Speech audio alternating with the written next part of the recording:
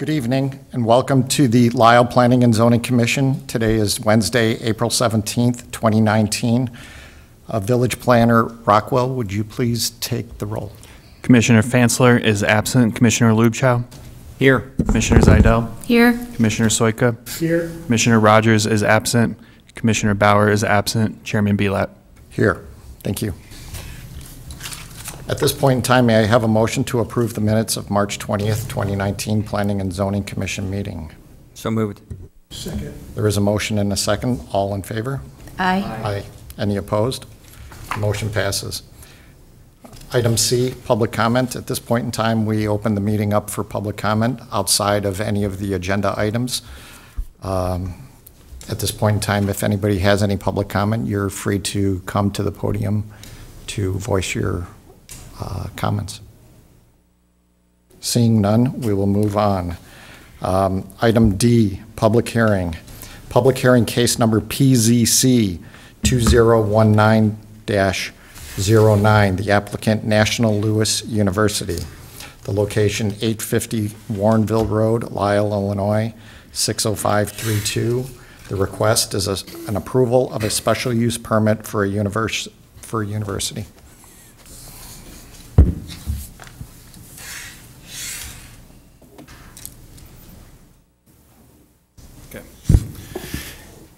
Good evening, Commission. Uh, The case before you tonight is, uh, the applicant is National Louis University at 850 Warrenville Road. The Requested action is approval of a special use permit for a university. Uh, Some technical information, the parcel size is 6.03 acres. Uh, It's access uh, from, via full access from Warrenville Road. Uh, It's currently improved with one office building connected in the center by a pedestrian walkway and associated off-street parking.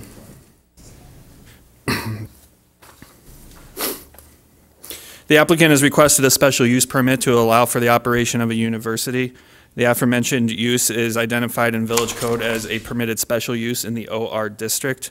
The applicant has been operating a university at this location since 2005 and is proposing to continue the operation of that, that use. Uh, Staff research into this matter uh, determined that previous administration at the time uh, approved the use and occupancy in 2005 of National Louis University. At that time, uh, institutional uses, including schools, were classified as a prohibited use in the OR district. On May 21, 2012, the village amended the village code to allow for vocational, trade, technical schools, colleges, or universities via special use permit in the OR district. As such, the appropriate zoning entitlements for a university at this location have never been applied for or granted by the village, and as the village has become aware of this matter, the, it's uh, become incumbent on the village and the applicant to move forward with such a zoning request for a special use permit at this time. Uh, Staff findings of fact um, uh, are positive and find that the requested special use meets the intent of the OR district and uh, will help the Warrenville Road corridor. The educational use will contribute to the intended mix in the corridor. Um, You'll see on, on the screen, um, we've pulled up the aerial, excuse me, the zoning of OR. Um, The requested special use complies with parking regulations of the village code per code. The tenant space requires 83 parking spaces. There are currently 186 parking spaces available at the subject property. Uh, With that, staff does recommend approval of a special use permit for a university at 850 Warrenville Road for National Louis University based on the findings of facts submitted. I'm available for questions. Petitioner is here as well.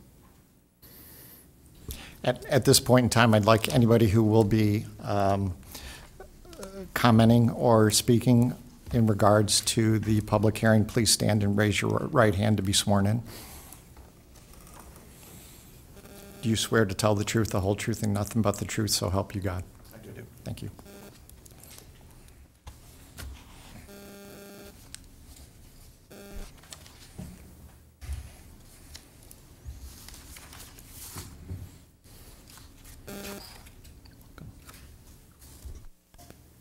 Derek, I have a question which is not directly relevant to the request before us, but is relevant to the property. And I apologize, I saw it in the packet, and now I'm struggling to find where I saw it. But uh, a few months back, there was a property owner um, I guess it was, would have been called development proposal presentation uh, to subdivide the property. What's the status of that request? They were actively pursuing that up until last week, and they have officially withdrawn that petition ownership. So I guess as long as I'm, still have my mic on, I I do have one other question, and it pertains to parking. I apologize, somehow I've managed to mix these pages all up, but in any event, when I reviewed the packet, I recall um, seeing reference to parking, which was my primary uh, concern relevant to this request, notwithstanding its existing operation.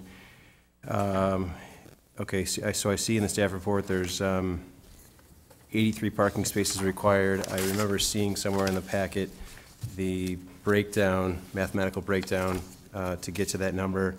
Um, But then the staff report also says there are 186 parking spaces available at the subject property. That is parking supply for the entire building, correct? Correct. So, again, I apologize because I've got this all mixed up, but my recollection is that there's something like 42,000 square feet of additional space in the building that would not be or is not occupied by this educational use. Um, I guess I maybe have two questions. Number one, uh, what are the other uses that are in that building? Um, And in light of those uses, is the remaining amount of parking available sufficient to accommodate those uses and any vacancy that's in the building? I'll confirm with the applicant, I believe there are no other uses in the, operating at the building currently. So, I can clarify. Can can you speak? So my, my name is Marty Mickey. I'm the Chief Financial Officer at National Louis University. We occupy 850 Warrenville Road, of which there are 186 spaces devoted to it. We, enti- we um, occupy the entire premises of 850. 950 is to the west, and there's a separate number of parking spaces that are devoted to that building, if that helps. Okay, understood. So the 186 is for the building that you're in only? Correct. But then there's still like 42,000 some odd square feet of vacant space in that building? Not in ours. Not in your building? We have, we, we occupy the entire 850 Got it. building. Okay, thank you. Sir, yes. Uh, Marty, could you Yes. please explain a little bit what's been, um, there's been some relocations taking place. Maybe you could kind of speak to what has been going on Sure. with your footprint on, in 850 and Sure. the adjacent property. Sure. I, I have some remarks. I I might step on something Derek already said, so my apologies if I did so. Um, So we've been in the building since 2004. Uh, We're a hi- higher education institution, not-for-profit 501c3 institution that's been around since 1886. Um, We're well-known in the Chicago area. We have campuses in Chicago, in Elgin, Wheeling, and uh, Lisle as well, as well as Skokie. We have operated in this facility since 2004, and we moved here from Wheaton, where we occupied property that was in the former Wheaton Courthouse. And we moved here in 2004 when we liked the property and thought it would be a good fit. When we moved in the property, as, as Mr. Rockwell said, we obtained approval from the village, and we, re- we received a certificate of occupancy in 2004 to begin operations in the uh, building. Since 2004, we've served over 6,578 students at this location, providing degrees in various programs, including education, business, consulting, and behavioral sciences. We currently serve about 275 students at that location, at this location. And since our occupancy in 2004, we've uh, been providing quality education for students in the community, something that the Village of Lisle touts on its website. We've made sure the the uh, property has been maintained in good condition, abided by all the village rules, and paid our share of property taxes, over $4 million over those time, uh, over that time th- through our lease payments. The, the property taxes are embedded in our lease payments. We've been a member of the Lisle Chamber of Commerce, and we provided various free rentals to support groups around the community, such as the Red Cross, YMCA, and Giant Steps. As uh, Mr. Rockwell said, we're, we're here in front of you today because we were uh, notified that back in 2004, the officials that gave us the approval apparently did not have the authority to do so. And we have found that out in February when we were in the process of doing some minor renovations in our property to make room for uh, occupants in the 950 building that were moving to the 850 building. We are at the end of our lease, and the lease was expiring, and we uh, uh, decided to extend the lease at the 850 building after doing a thorough research of the area. We had narrowed the, the, the uh, locations per, uh, for extending to the facility we're in, as well as some facilities in Naperville and Aurora, primarily the Robert Morris facility in Aurora on Route 59 train station. Decided to stay here because of the fact that we've been here, we've an uh, established presence, business-friendly community, good, good accessibility to the expressway, et cetera. So when we, uh, we extended the lease, and uh, part of that lease was to downsize our footprint. We also had previously occupied some space in the 950 building. We didn't need that anymore because our enrollment had declined a bit. We're moving only into the 850 building. Because of that, we had to relocate some of our personnel that were in the 950 building over to the 850 building. And because of that, we filed a building permit to do some very small um, uh, renovation work, primarily to renovate a couple classrooms to make room for 12 offices for some of the faculty and staff that we have. I have some of the faculty with me today. And also to renovate a lounge into an observation room. We had all of our observation rooms in the 950 building, and we needed to have some in the 850 building. These provide learning um, abilities for our students when they can be in observation rooms and be observed by faculty um, doing their work through a two-way mirror, basically. Um, because of this issue, our, our, permit was, was put on hold until we can get the zoning issue taken care of, which has caused us some consternation because the faculty behind you and, and various other counterparts have had to live out of boxes for about two months. And um, the other issue is our teaching with this observation room out of service has been made more difficult. We're using computer screens and, and Zoom technology to try to do this observation work that you should be doing with observation rooms. And to be honest, we're a bit nervous because accreditation reviews occur, and we were scheduled to have one about a month and a half ago. And if they came in and no observation room, no some faculty without offices, it could be a cause for concern. Well, they postponed their accreditation review, thank goodness, and they haven't rescheduled it yet but it should be coming up soon, no doubt. So uh, the long story short is we, we're here today because we think we've been a good citizen in the community for the past 15 years. We've done everything we, we think we're supposed to do. Um, we've supported the, the, residents. We've provided a good education alternative, and, and I'm also anxious to get this approved and moving forward because our faculty would like to get this building permit done so they can get out of their boxes and uh, actually, you know, serve students like they should be through an office complex, office space, excuse me, and then also the observation room that we'd like to have so we can provide that, uh, that benefit to the students. May I ask how long you extended your lease for? Seven years. Okay, thank you. So just to be clear, and I know we've discussed this a couple meetings ago, last meeting, but I wasn't here last meeting. Um, so everything we're talking about here is for the 850 building. Yeah, the, the There was a lot of 850 and Right. 950 Right. before, and so I'm just want to make sure that, okay, So thank you. my understanding, and we were not notified of this until after we had extended the lease, is that our landlord, uh, Friedman and Associates, had come before the board to try to partition off, eliminate the walkway that connects the 850 to the 950 building. I, uh, I think they were doing that because of the fact that we were moving out of the 950 building and, and entirely into the 850 building. Um, and they never told us about this. I didn't think to check the minutes of the zoning committee. I didn't even know it was anything on the, so we extended our lease, come to find out that there's a zoning issue, and I was like, that's why we're here for you, before you today. And I want to pay a thank you to Derek and Michael for, for helping us with the various materials that, that we were provided to fill out right away, which we tried to turn around as soon as we can. Thank you. I have one question. Um, On your application, you indicated, um, I'm looking at page three of the application, Part D, um, the question is, will the intended use be open to the public? And I take this question to mean general public, um, and you indicated yes. And I was wondering if you could explain to what extent it's open to the general public, not just to the students and faculty.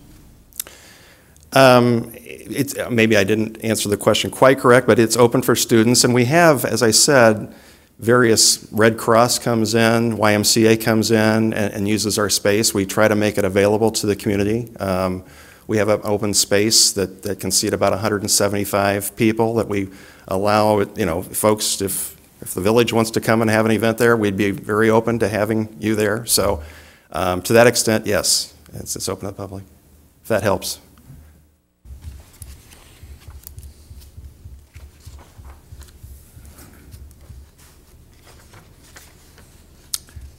Do I hear any other comments from the commission?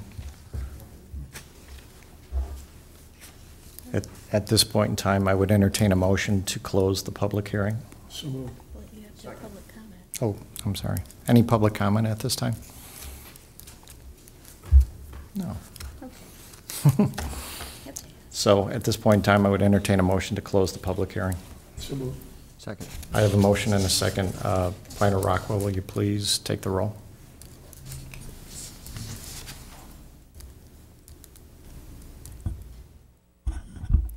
Commissioner Fansler is absent. Commissioner Lubchow, Aye. Commissioner Zaidel, Aye. Commissioner Soika. Aye. Commissioner Rogers is absent. Commissioner Bauer, Aye. Chairman Belat. Aye. The public hearing is closed. At this point in time, I would entertain a motion. I would uh, make a motion to recommend approval of a special use permit for a university at 850 Warrenville Road based upon the submitted findings of fact. Second. I have a motion and a second. Village Planner Rockwell, will you please take the roll? Commissioner Fansler is absent. Commissioner Lubchow, Aye. Commissioner Zaidel, Aye. Commissioner Soika, Aye. Commissioner Rogers is absent. Commissioner Bauer, Aye. Chairman Belat. Aye, the motion passes. Thank you.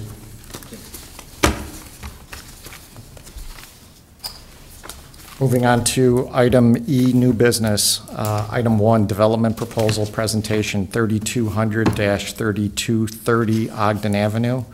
Potential application for a major change to the PUD and special use for an automat, automotive service facility to operate a student vehicle fleet storage and maintenance facility. Would the petitioner please come forward to present their development proposal?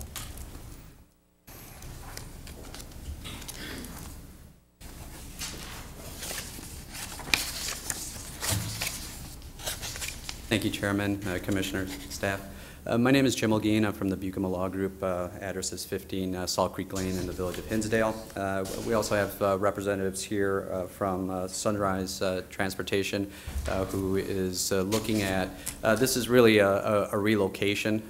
The the current use is on the immediate uh, adjacent property, which uh, has been before you recently as the uh, West Side Tractor Development. Uh, So due to the uh, approval of uh, that particular uh, project, uh, it's going to necessitate uh, that, that Sunrise Transportation relocate. And the, the property owner that, you know, that was the owner of West Side, uh, of the property that's going to be turning into West Side Tractor is also the owner of this particular parcel and was our landlord. Uh, And uh, the property, which uh, I'm sure you're familiar with, is currently a vacant automobile dealership.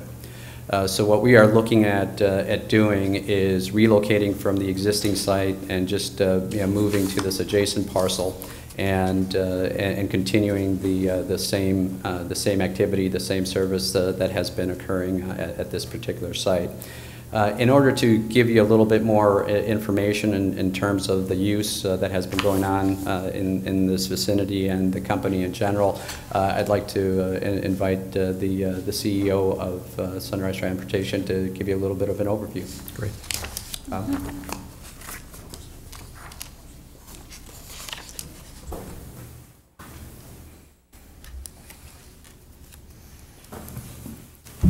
Good evening, thank you. I'm Bob Hock, and I'm the CEO of Sunrise Transportation. I've been in the school bus business for over 30 years. I've served the Lisle community and and other, my other companies in regular ed and special needs. I'm currently, Sunrise has been in business since 1988. Uh, We currently service SASED, which is the Student Association for School Special Needs Transportation for DuPage County.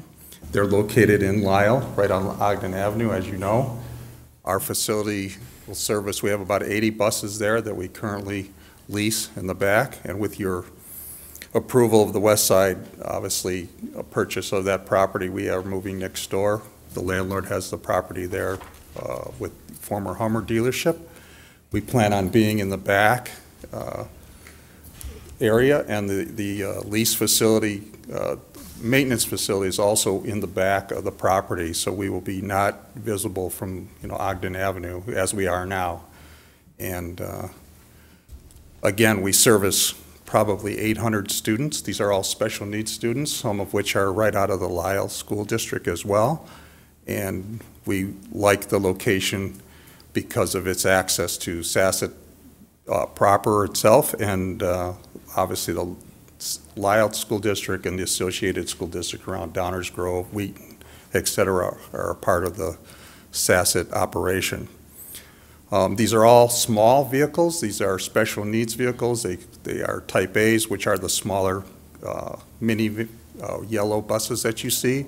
They are also uh, wheelchair units, which are the small wheelchair units.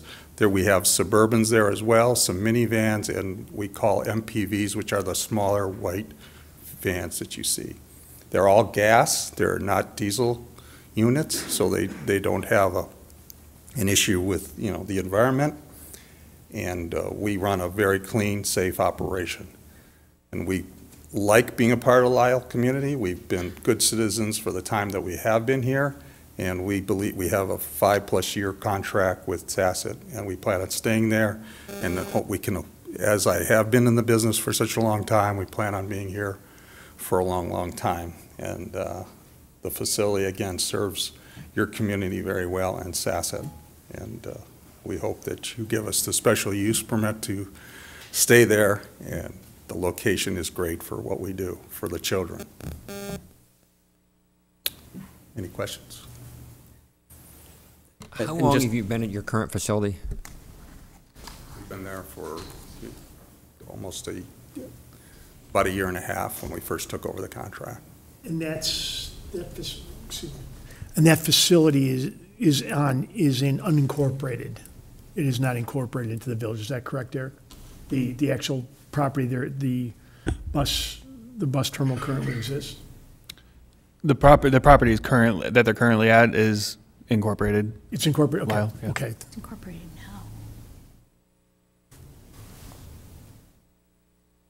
So could we just get a clarification on that? I mean, was the incorporation part of the West Side Tractor? Or was it already incorporated? The, the, the property they're operating on was already incorporated.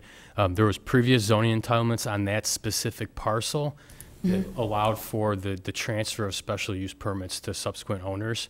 Um, that was unique in comparison to some of the other Ed Burke properties um, further east of it. So both Sunrise Southwest LLC and the next development proposal, luxury car sales, um, were able to assume zoning entitlements already granted on that parcel and operate there. And that, that started um, summer of 2018.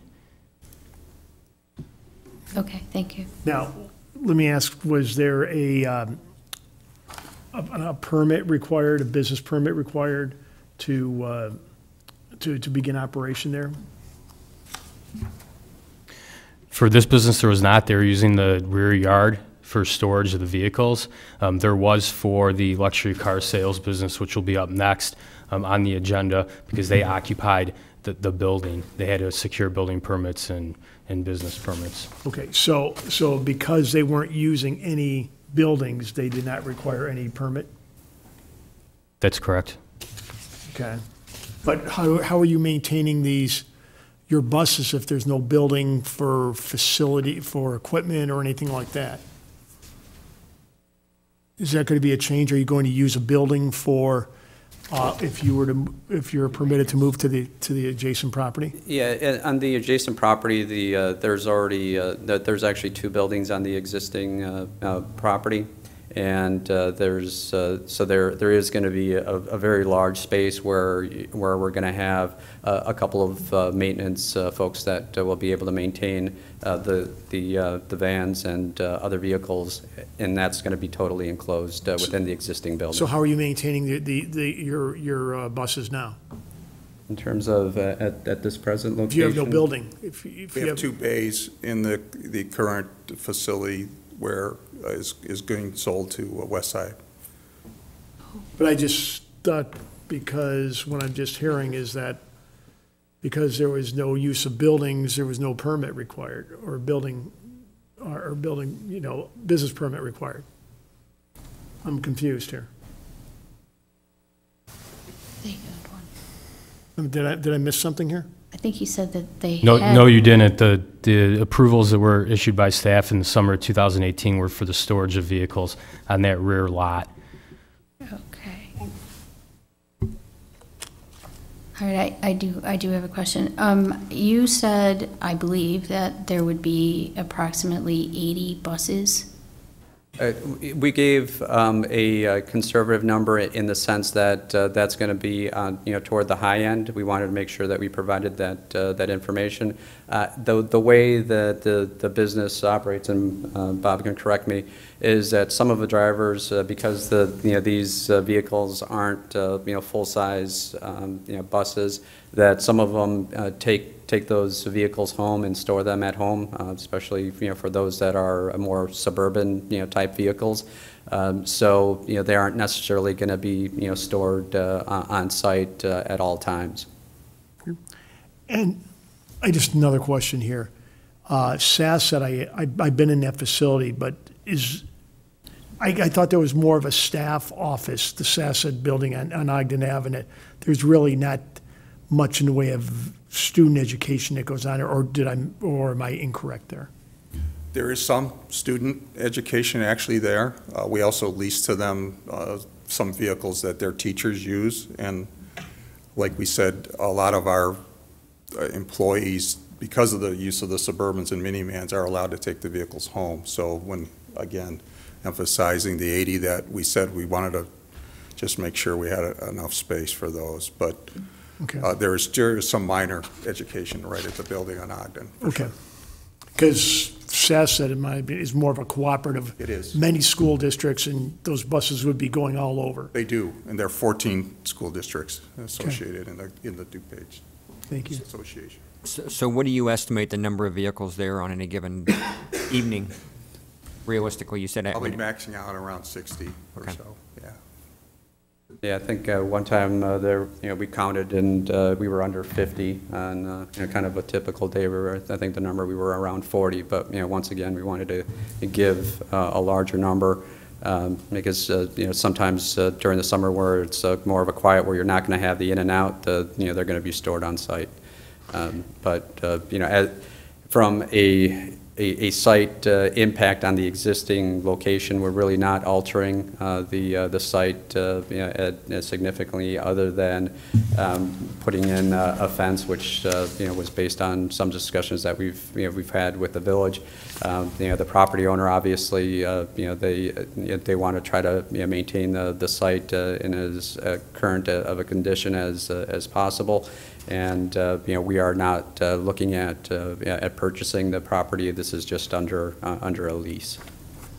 So, with respect, so there's no way you're ever going to have any diesels? Because diesel, my understanding is if you have a diesel, uh, you know, a diesel bus, then that requires, especially in the wintertime, some warm-up, a little bit more noise, things of that sort. You know, especially on colder days, you have to do some, is that, is that, am I correct here? Again, I'm. No, you're absolutely correct. And because of the, the nature of this particular business, which is all 100% special needs, we have no uh, anticipation of any regular ed uh, running out of this facility at all. It's always going to be a special needs, uh, you know, operation. Okay, and so, well, when I say, but, but again, no diesel. No diesel. because there are, there are homes nearby there. So Right. my sense is, in a, on a cold winter day, the interval for starting up buses that have diesels probably like around 5:30 AM. You're, you're correct on all those points, but Okay. we have no diesel fleet there now, and we have no intention of bringing any diesel. Okay, so what is the startup point? Like on a, on a cold winter day with snow and things like that, what do you normally, when, what time do the drivers arrive to begin operations and start up the, the buses? Well, I mean, uh, on a cold day, I mean, we, because they're gas, they don't have to really go through a, a major startup like they Right. do with diesel. So we do have routes that start, you know, drivers will come in and, and leave around six in the morning to, to do some, do routes. Okay. But- But there's no, again, no pre-startup for Okay. because. So, so is there some type of procedure at the, at the uh, beginning of the day? Do you have to check backup alarms? Uh, the beeping that takes place for those types of buses, is that part of the startup procedure?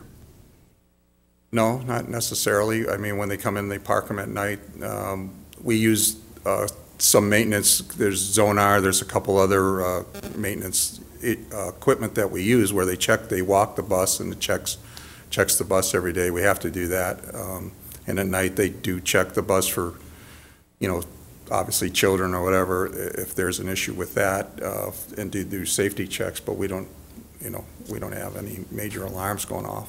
Uh, That's, if that's, your- Okay. if you're Um, talking about noise, I think that's what you're alluding to. Yes.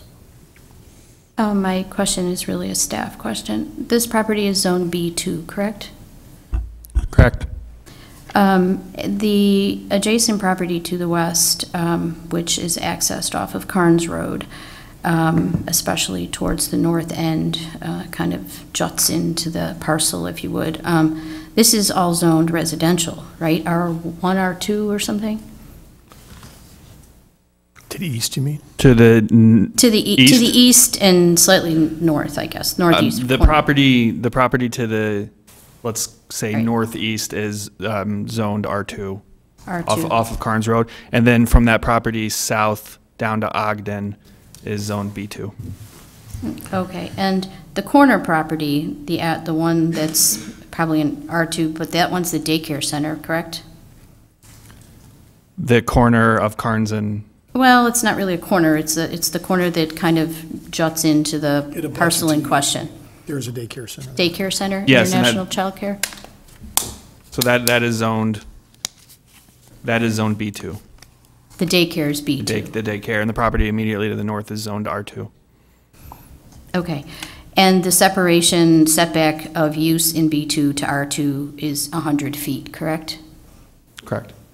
Okay, so will any of the use um, with the bus parking and operations um, encroach on the 100 feet setback to R2?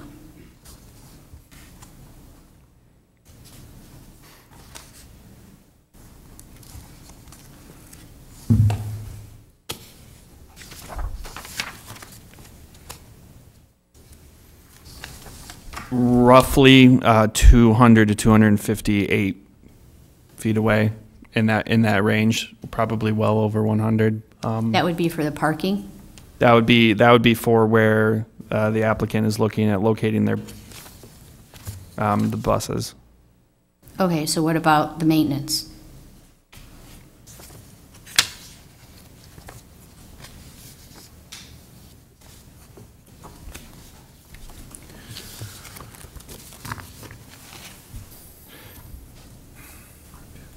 I, I mean, that, that is more difficult to measure because what's on the plat isn't, doesn't as clearly delineate where the maintenance area is, so I couldn't say.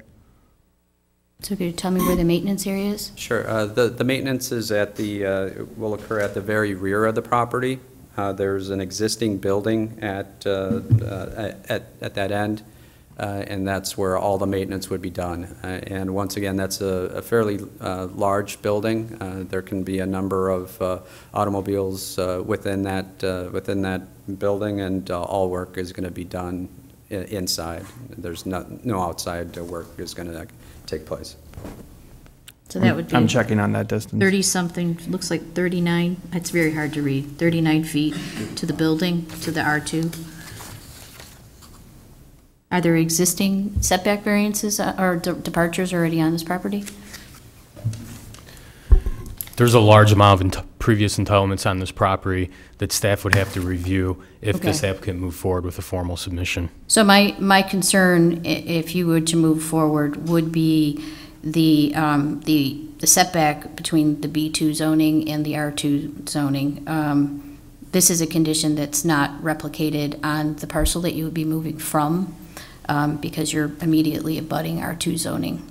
Um, That would be my primary concern. Second concern would be um, the exiting of the buses in the morning, which I'm assuming would be to Ogden Avenue, and the traffic concerns with, you know, your six to eight AM departures or whatever, with, you know, 45 to 80 buses all leaving through a shared exit with Westside Tractor.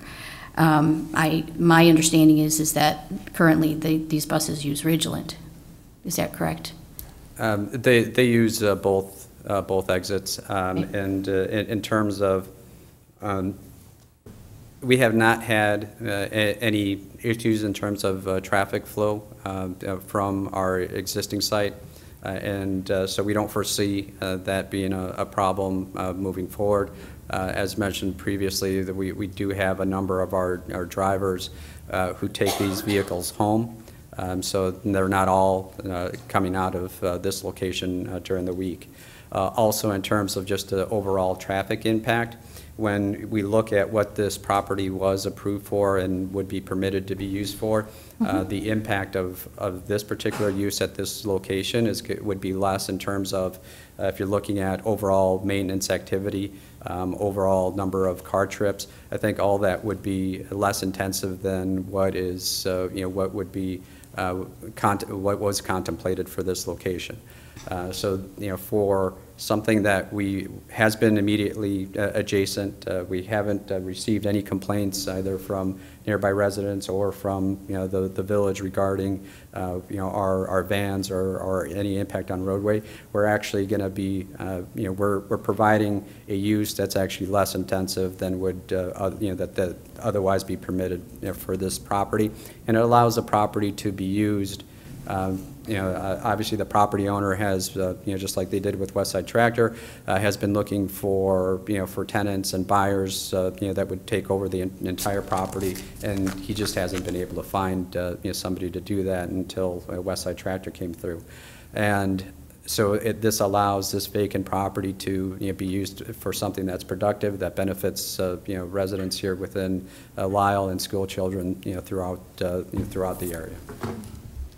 Okay, but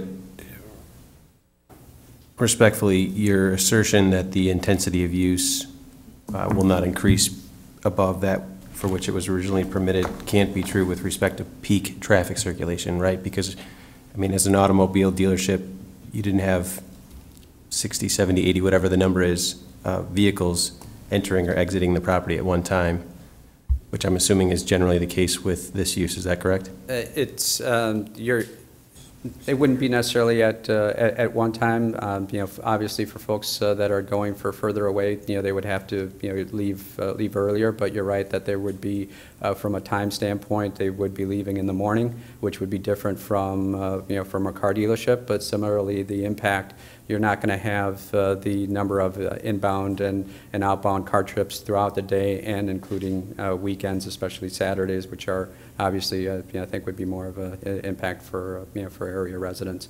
Um, And, uh, you know, the longer hours that, uh, you know, that those type of uh, uses would, uh, you know, would, would result in. Okay, so your comment. Generally speaking, the, I did say six AM, but there's probably an hour window there where the, the buses will be leaving. They don't just all come in and then immediately at six will be leaving. There'll be, you know, could be six, six uh, five could go out at six, five more could go at six fifteen, another maybe ten at six thirty. So it's not just a massive exit. So I want to be clear on I- that. I'm kind of looking at it, but you're operating next door, so that traffic really shouldn't be any different than it is today, correct? Correct. Yeah, and that, that's the other part of it. If the, if we were having issues, uh, you know, regarding traffic, I'm, I'm sure, you know, we would have heard about it, or, you know, the village would have, uh, you know, heard about it by, by this point. So I have a question for staff, and that is, how does this um, fit into the Ogden corridor zoning um, plan? So something that always comes up with the Ogden Corridor Plan is um, one of its recommendations is limiting um, any sort of automobile service type of uses. Um, that issue was raised and addressed it during the West Side Tractor entitlements, but that is one of the recommendations of the Ogden Plan that um, we would have to discuss more thoroughly. So um, my, my question would be a staff question, um, not necessarily thinking of an answer, but maybe just posting the question. Um, As it's presented here, this was seeking a special use for an automotive and power equipment service facility. Um, And I am recalling a request in the past for a school bus terminal um, at a different location in Lisle where it was classified not as an automotive service facility, but as a terminal, a school bus, like a transfer terminal.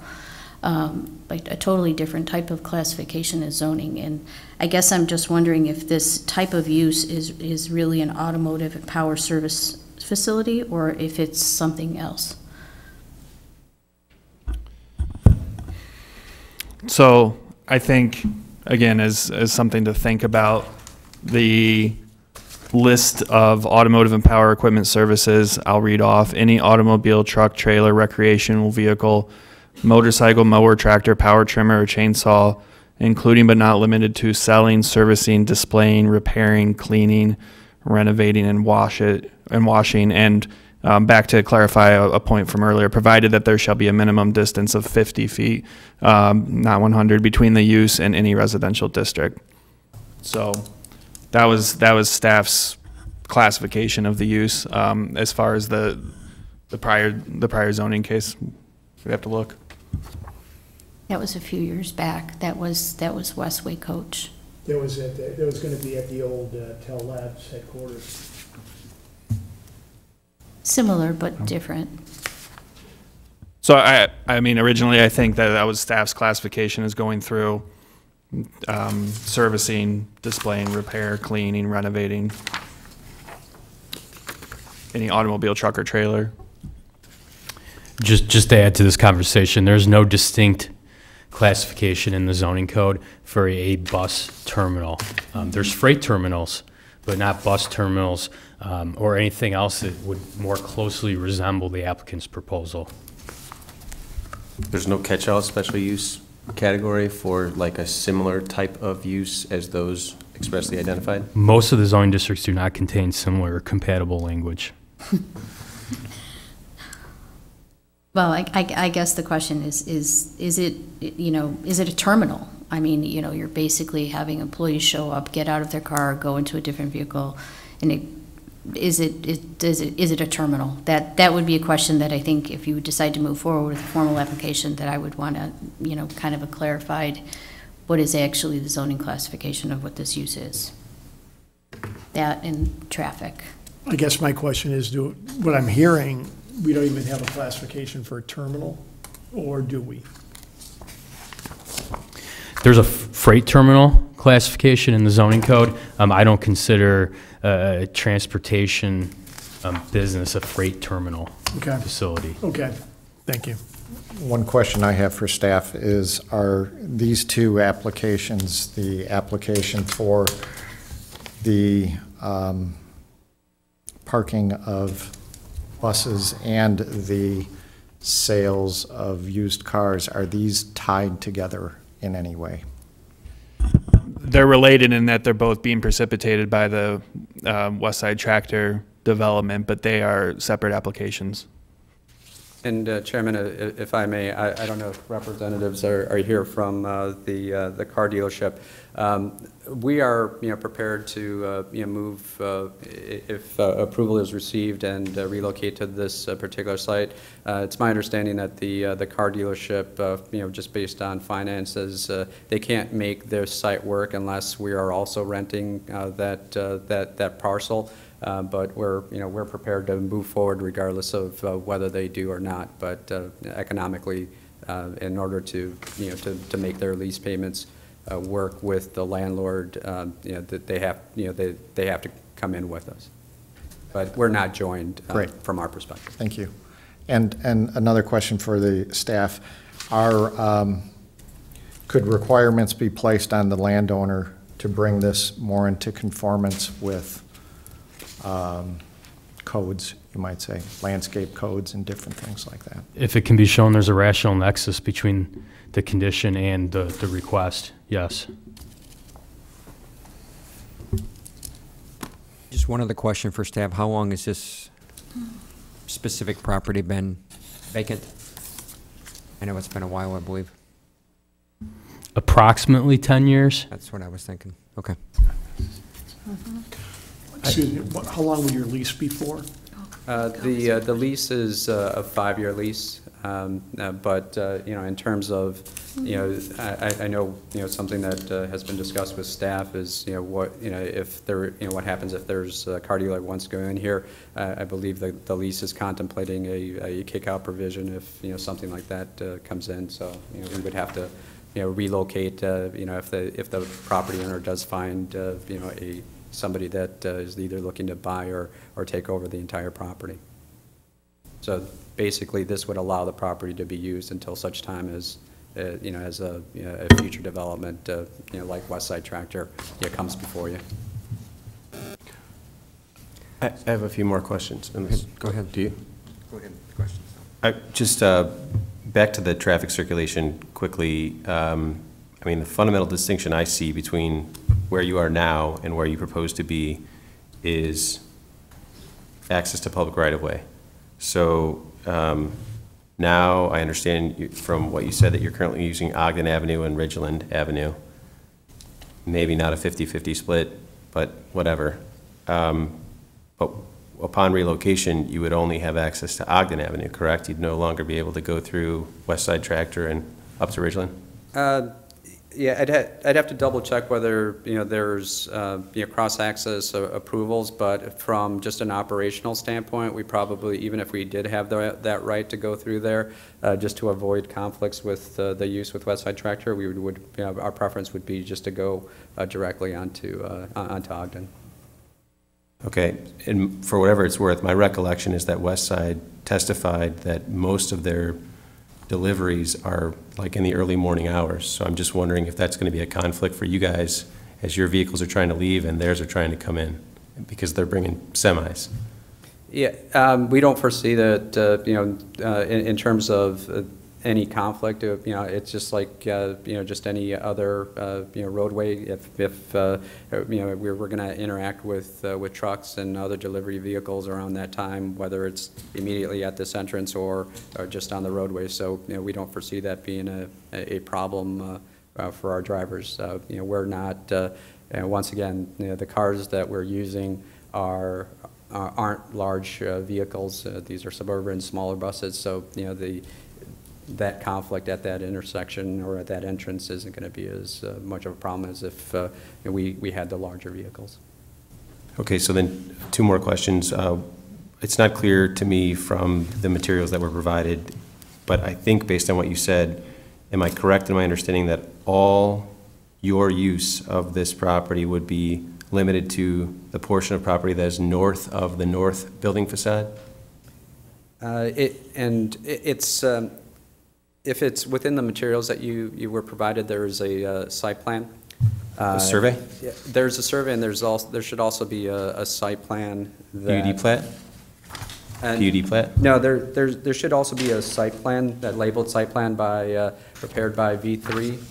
If you don't have that, I can kind of describe uh, the location of, uh, of where that uh, dividing line would be. Yeah, I don't know why I don't, but it's not, in it's not here. Okay, Uh, well, then I can, based on the survey that you have, I can uh, give you, I I now have the site plan. okay. So. th- Oh, I see, so you're. There- There's a okay. fence that, uh, that kind of delineates uh, the dividing line on the property where, uh, you know, parking, what, you know, what we're proposing is uh, just providing some larger stalls for, uh, uh, you know, for the, you know, larger buses, but uh, that should give you a good indication of where the dividing line would be. So you're going to be on both the east and west side of that rectangular north-south building? Correct. Okay. And that, I guess we'll hear from the next um, pre-applicant, if you will, but you don't see any sort of a conflict between their operations and your operations, given the proximity of your proposed use to theirs? No, not at all, uh, and actually, you know, once again, this is uh, pretty much uh, what we have uh, occurring right now at the, uh, at the adjacent property. They're also on, on the site with us, uh, so that's, uh, so we're just looking at continuing both uses on, on the property uh, immediately adjacent. So we haven't had any problems be- with them before. Okay, thanks. So la- last question, can you just please uh, clarify for me, I see the applicant as identified as Sunrise Southwest LLC, um, but earlier I heard reference to Sunrise Transportation And somewhere in here, I thought I saw a different Sunrise name. Those are all somehow affiliated, like a subsidiaries of the LLC, or what? Y- Correct, uh, yeah, Yeah. correct. Okay. So if you do, one, one question, if you do come back uh, with your application, you're currently showing 45 designated bus parking spaces. Um, You talk about 60 spaces as a maximum. And um, with 45 and/or 60 bus parking spaces, you're going to need an equal amount of car parking spaces to coincide for the drivers who are going to be driving the, the, uh, the buses. I don't think, per your site plan, you have those um, numbers covered with your parking, so. Yeah, and, and I think that 45 number is on the oversized uh, parking uh, uh, stalls, so, you know, we'll still have uh, additional parking that are, uh, that are smaller. So, uh, but we'll provide a, you know, better delineation of, of that number breakdown. In that case, generally what happens is they'll, they'll pull up, they'll, they'll stop their car, they'll pull the bus out, they'll pull their car into the spot where the, where the bus is. Sure. And then, you know, you're calling out for a fence. Um, It would be critical to know what type of fence you're talking about and how that is going to operate. Um, So those are all, And- And Chairman, to some extent, uh, that was something that, uh, you know, we were, you know, hoping to, to see from a guidance standpoint, different communities, uh, you know, have different uh, likes and dislikes in type, in, in terms of uh, fence material. We weren't sure, you know, from, a, you know, the, the Plan Commission standpoint, if, uh, there, if there was a preference of uh, one uh, material over another. sure, thank you. Any other questions? Hopefully that gives you some direction. Hold on, just- I, I guess, Oh, yeah, go, Go ahead, you go. Yeah, I'd just like to make a comment that I'm, I'm in support of your proposal. Um, That, you know, you're already operating in the village, you're operating next door. I don't think traffic's gonna be that much of an issue since you're already doing it today. So, just wanted to let you know my opinion. Thank you, Commissioner. Well, if, if we have, just a question, if you have 45 spaces, but you say the capacity is 80 buses, you know, with, with- we got, we need to make sure we work the math out, so that if this is a capacity of 80 buses, there better be 80 spaces for, for bus spaces. Commissioner, I think those, uh, those are spaces for that, you know, for the larger ones, but, uh, you know, for example, like Suburbans are more regular, you know, are are regular car shaped, so. uh, Right. So we, but we, we will definitely provide additional detail Because, regarding- because if you're gonna, if you're gonna get to something to, so for 80 space, you better, you know, if in fact no one takes one home, there's better to be 80 spaces there. So we can't have any parking out on the side street on Ridgeland or anything like that. Thank you. Chairman, if I may, uh, for the applicant's benefit, um, this will be a major change to the planning and development. As we know, uh, there are specific content items that either require addressing through a major change or um, a waiver request. I think it's been helpful in the past if we, um, if um, the commission can provide some guidance regarding some of these content items, um, such as school impact study, tax impact study, traffic analysis, environmental impact study, and market study. Whether, whether those materials would be required of the applicant or um, waivers would be potentially supported. Derek, to be clear, you said school, There's school impact study, tax impact study, traffic analysis, environmental impact study, and market study. The, those are the items that are, um, that are typically in question, um, as we, as we look at potential applications for major changes. I guess I'll speak in my opinion is they're already operating in the village. So I, I have no issue with granting a waiver on those.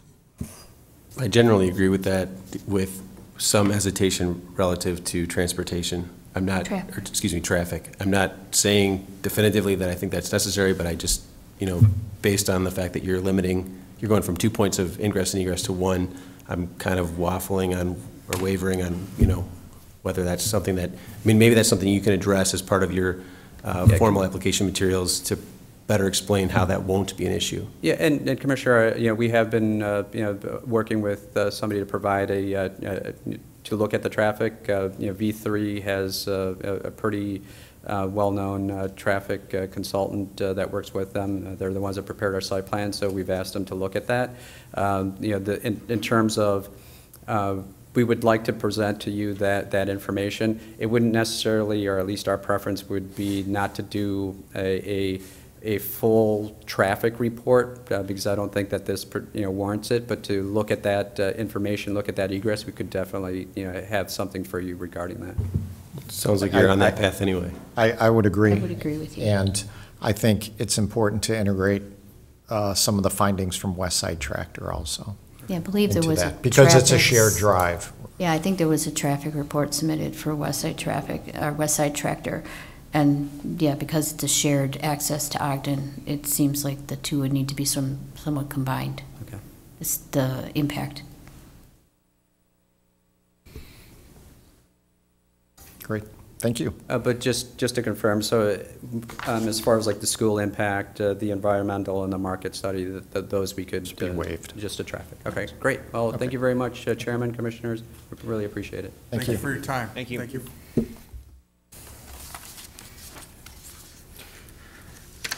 New business, uh, item number two, development proposal 3200-3230 Ogden Avenue, potential applicant for a special use for an automotive services facility to operate a used vehicle dealership, Grand Motors. Would the applicant please um, come forth and present their project?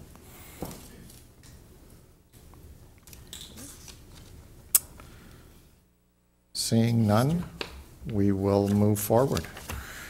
Um, Item number E3, a development proposal for 1400 Maple Avenue, a potential application for a map amendment, plat of subdivision, and special use for a commercial recreation facility to construct an indoor-outdoor golf facility. Would the petitioner please come forward to present their development?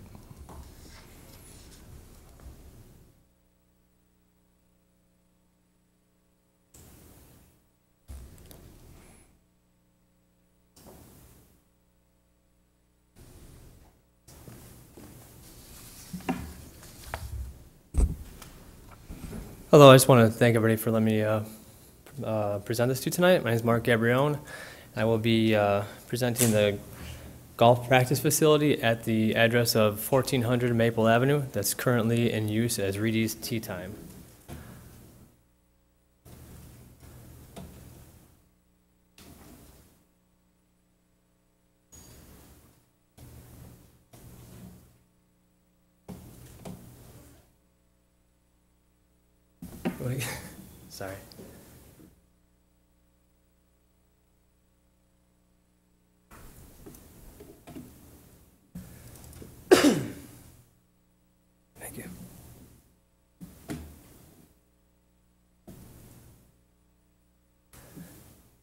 So to give a brief overview of vision we have for the property, uh, we want to create a year-round indoor-outdoor golf facility that is uh, utilized by elite golfers. Um, want to make it a top-of-the-line range and also a golf entertainment facility that families, kids, uh, people who go on dates, all other people who actually like golf can enjoy it as well. So kind of an all-encompassing golf facility um, that's utilized year-round. Um, to do this, to attract all these types of people, we'll need to have what uh, a new technology called Toptracer technology. It tracks ball flight via cameras on top of the building and uh, displays ball data to the viewer on a screen in the, every bay um, right next to you as you hit. So you can play multiple courses like a simulator. You can get ball data if you're practicing, like spin rates and targets, yardages. It's just a very uh, intuitive uh, software that's helpful for golfers who are looking to improve, also for golfers who are just starting out learning the game and just want to have fun. So to use this year-round, we'll have heated bays. Every bay will be heated. There's approximately 40 bays. Uh, they will be heated, and the bays that aren't in use could be closed off via garage doors or some sort of enclosure, so the elements won't be as uh, intrusive as some other bays that are outside and heated as well. Um, the building will be home to a large chipping and putting area, uh, which of the likes, there are none in the area, actually, like a 70-yard chipping and put- and putting area that golfers actually need to improve during winter months, so it'll be beneficial for everybody, actually. Um, It'll be PGA certified, there will be PGA uh, instructors on site for individuals to take lessons, there'll be group lessons, there will be uh, junior camps in the summers, there will be programs for after-school for high school golf teams, for college, for elite players, there'll be all sorts of instruction available to the public. Um, To encompass the entertainment part of it, we would like to have a bar restaurant inside the facility as well. Um, serving beer, wine, and spirits, and have a bar menu as well, with service to each of the bays, like waitress style. But that would be uh, contained to the building itself, not outside at all, just in the building.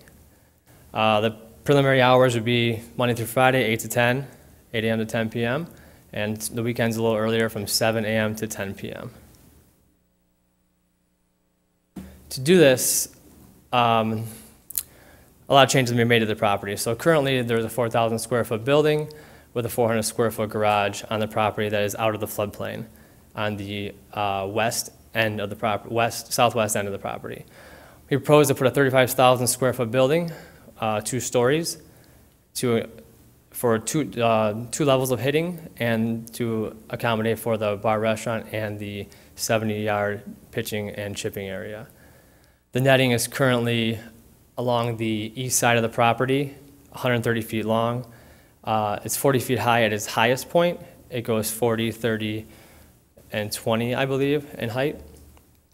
Uh, Our proposed, proposal is to have it extended uh, to protect neighboring uh, errant balls going to neighbors, and also if uh, there is a chipping and pitching area on the outside, on the east side of the net, that we don't want errant balls hitting there as well. So it'd be extended 210 feet long and 90 feet high. The reason for the height difference is the building itself is going to be set where the current parking lot is, at the height of the parking lot, which is 12 feet above the current, where the, the, they currently hit from now. So two, two stories would be 35 feet plus the 12 feet. The netting needs to be that much higher than the current netting. Um, Right now, there's no utilization of space to the east of the netting between the residential property and the net. Uh, We propose to have a short game area there uh, for just pitching and chipping, sand bunker. No, no balls would be flying heights in the air, it would just be chipping and pitching and putting. Um, Currently, the lighting exists behind their uh, hitting line. It's four poles, approximately 40 feet high, and they have three lights on each one of them. Our proposal would have 18 to 24 uh, lights on top of the building. So in essence, it would only be approximately seven to 10 feet higher than the current lighting is now, since they're roof mounted and not mounted higher on poles. This is what the building will look like uh, preliminary from Maple Avenue looking north. So if you were to, uh, yeah, there's just pretty much straight on looking north from Maple Avenue. And if you were looking back at it from the downrange, this is what it will look like as well. Uh, the top right there would be the bar restaurant looking out towards the range. Um, the bottom right would be actually simulators for winter uses, teaching bays, um, and things of that nature. This isn't to scale. This there's there will be approximately 40 bays to on the double decker side. So this isn't exactly to scale. This is the, this is the plat that it's currently, um, the most current plat that we have. So you can see the new building would take up the, the footprint of the first row of parking spots that um, is there currently. And most of that building is in the floodplain, so we'd have to comply with floodplain regulations, raise the foundation four feet. That's also another reason why the netting would have to be higher. Um, this currently leaves approximately 62 parking stalls with the ability to add more to the southwest portion of the building in the front along Maple Avenue in the parking lot. And also there is a option to purchase or lease some land to the east of it that the current owner also owns and lease that for extra parking if, if possible. Uh, There'd be new target ranges down the range, which would just be grass and maybe mound, slight mounding, which we would accommodate for by the building and the fill, we have the, the one to one point five fill for the floodplain regulation would be how we would maneuver those greens into existence. Um, As you see on there, the current net is along the east side there. We would just extend that farther and extend it back to the south towards the building. Um, The short game area is on the east side of that. Uh, Again, this is just, this is the largest the building could possibly be. This isn't set in stone, it could be, it could be, most likely will be smaller, but I just wanted to present to you the biggest possible thing uh, for your, to, to, for your approval, because it's most likely going to be smaller. And to accommodate some other things as well, the east end of the building could also be canted towards downrange and the river, just like the uh, west end is. That would, uh, that would accommodate for less lighting spill. If the light, if the building's canted that way, the lighting would be canted that way as well. Um, So again, this is not set in stone as how big that is. As far as the lighting, it would be high output LEDs, um, spotlights. They have glare shields to reduce the pollution for the neighbors. Uh, roof mounted, so again, it would only be approximately seven to 10 feet higher than the current poles. Um, be approximately 18 to 24 fixtures. Right now, there is 12, so it'd be double or less of the fixtures that there currently are. And just for a, a uh, comparison, I'll show you on the photometric design we had done. Um, 20 to 25 foot candles is a well-lit tennis court. Five foot candles is a Walmart parking lot lighting. So this is the photometric, oh, I'm sorry. Where did this go? One second, please.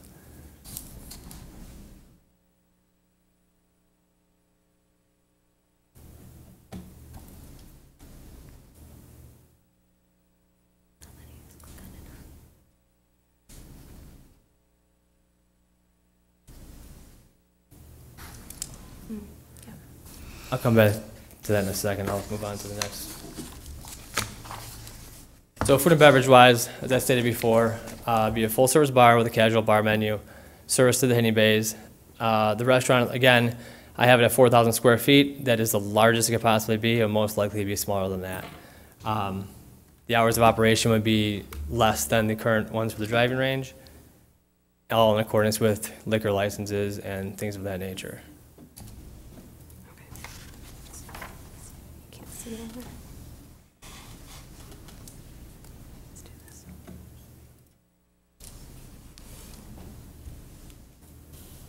Okay, so here's the photometric design we had done. As you can see, the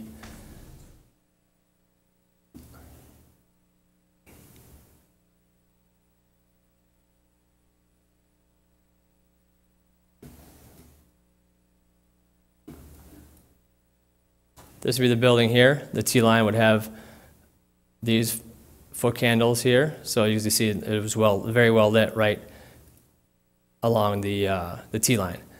As you move, things give me trouble. Hold on.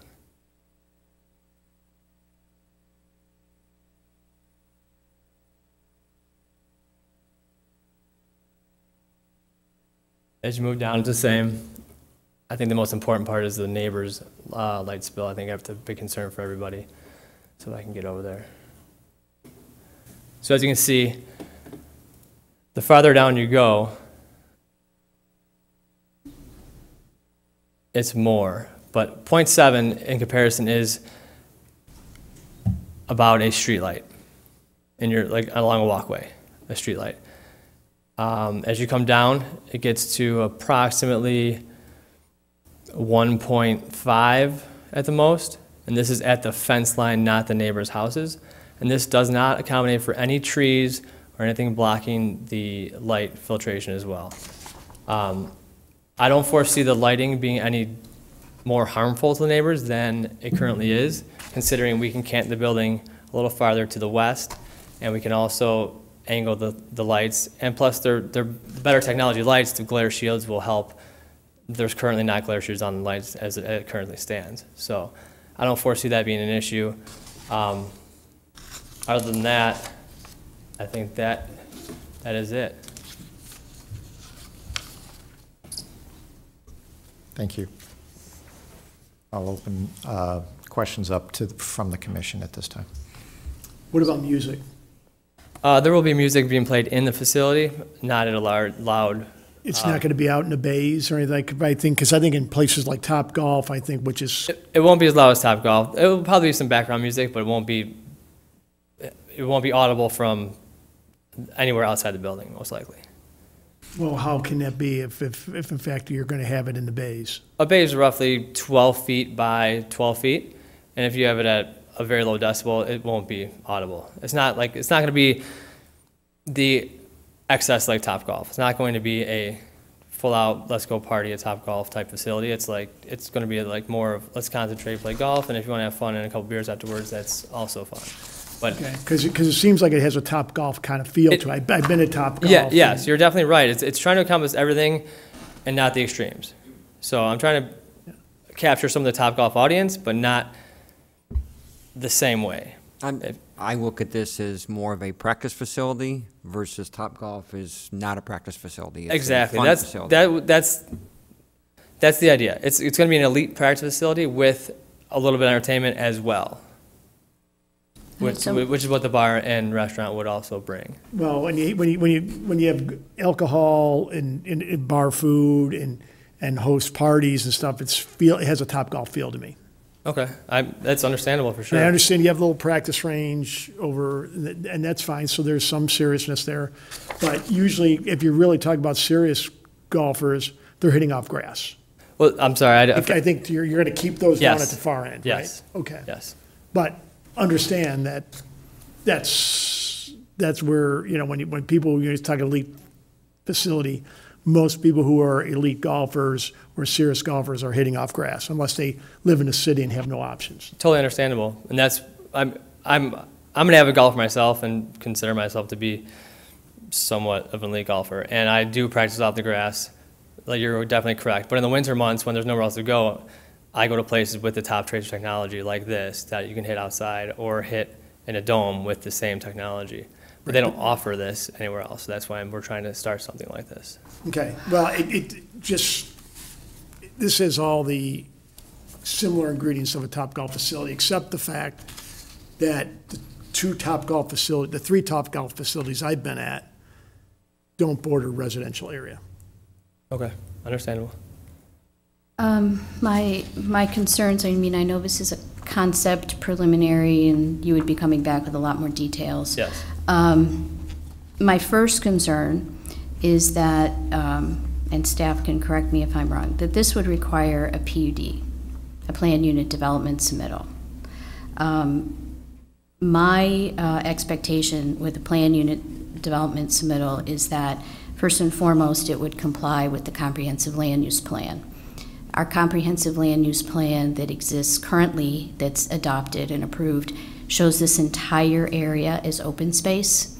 Okay. So my first concern would be that um, how, how, how you get a plan unit development to comply with the comprehensive land use plan for a 30-some thousand square foot restaurant practice facility um, when it's designated to be open space. So I don't know how you get compliance to get a PUD. That's my first concern. My second is that you're seeking a rezoning from R1 to B2.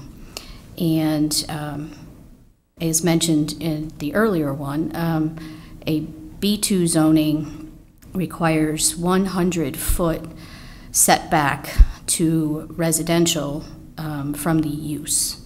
So you'd need 100 feet from the residential um, yard, backyard, lot line, 100 feet from the residential to any use.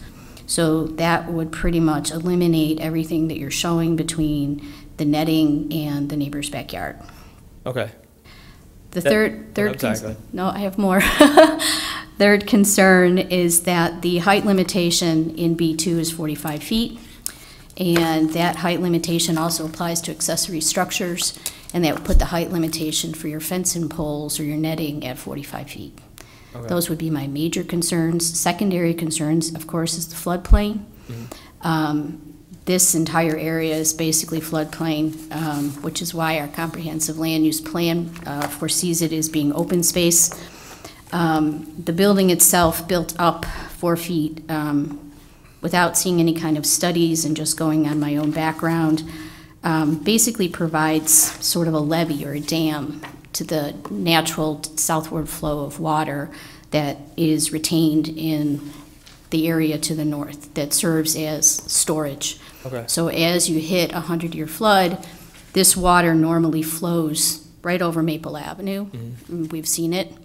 Um, This building would serve as a barricade, and then the water would have to flow to the east or west. And I would very much want to see um, a study of the flow of water and the impact of a building that pretty much goes full width of the site, um, and where that water would end up Okay. um, specifically with regard to the residences to the east. Um, Wouldn't want to see any additional flood impact um, on those single-family residences. So those are my major concerns. They're pretty substantial. I, I have a few comments also, and specifically about parking. You call out for 62 parking spaces. If you have 40 bays, you might have multiple people per bay. You have a restaurant, you have an indoor chipping area, you have staff. I don't see you're going to need a lot more than 42, or 62 parking spaces. I think you also have an issue with regards to access. Um, I think not having a twiddle lane in the middle of Maple Avenue uh, poses some problems. So for anybody coming from the west um, who might want to pull into your parking lot, would create a lot of problems associated with backups and such. Um, So I see that as being another problem that you would be encountering. Okay. Um, When you're looking at 62 parking spaces, you're looking also at 100% coverage of asphalt. There'd be a need for islands and plantings and such, all to also be encompassed into your plan, which would then minimize the number of parking spaces that would be available on site for you to be able to use for parking also. Okay. Um, Just along along the lines of parking, just to kind of reiterate, you know, you've, you've obviously been at Top Golf facility. You know, you go for a party or get together, corporate outing, whatever it may be.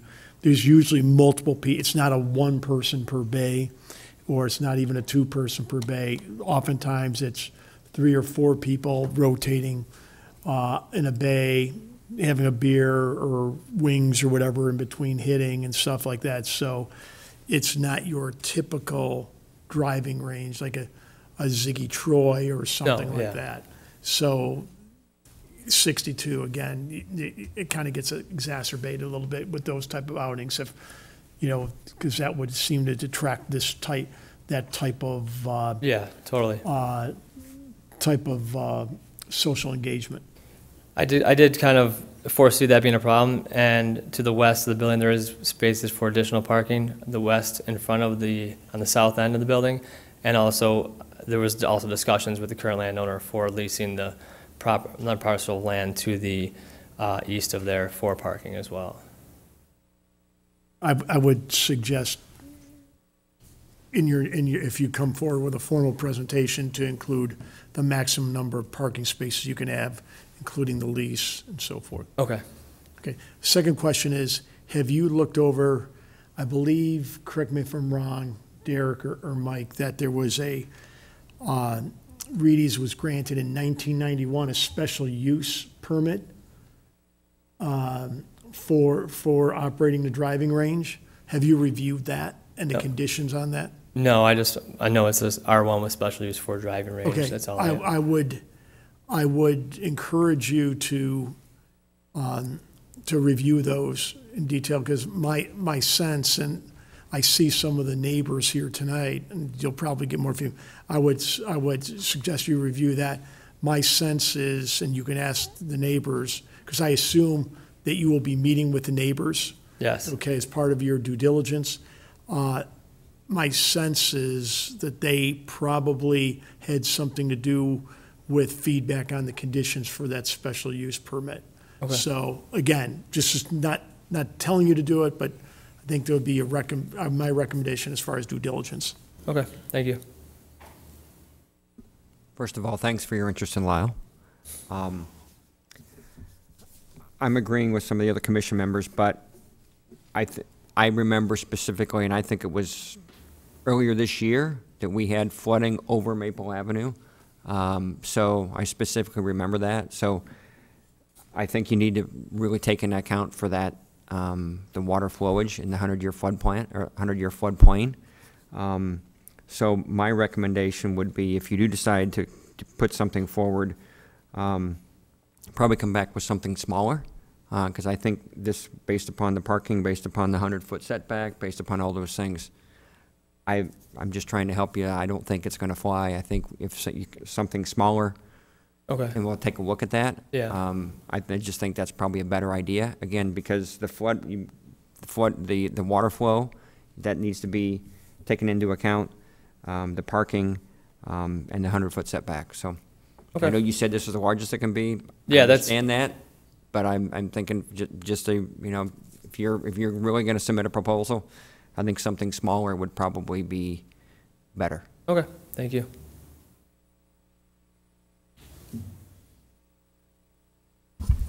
I'm not sure that I have a lot to add, given that I'm last. Uh, I would generally entirely echo Commissioner Lubchow's comments, but um, I uh, do want to say that I, you know, commend you for trying to come up with some sort of use, um, I should say modern use for the site, uh, which perhaps blends the comprehensive plan open space designation for the property with uh, some sort of a profitable type use. Um, Clearly, there are uh, concerns that need to be addressed, which I don't need to restate. Um, But I think the reality is that you'll have to engage some professional assistance to help you address the types of concerns that were expressed. Um, One question I have for you is, I'm just not clear on where you're suggesting um, you might be able to utilize off-site parking. D- I I thought you said east, but then I think you mean west? No, it is, it's east. Here, It's, it would be in it's on the this plat, uh, it's not on this current, So he would be able to lease this lot right here. Oh, I see. So it's, it's, Yeah. it's, so it's currently, I'm looking at an aerial, it's currently unimproved, there's no parking there at all? no, it's currently just uh, grass. Got it. So that's immediately south of a residence? Okay. I believe that is out of the floodplain as well. Understood. Thank you. At this time, I'd like to open up uh, this um, item for public comment at this time. If you want to come up to the podium. This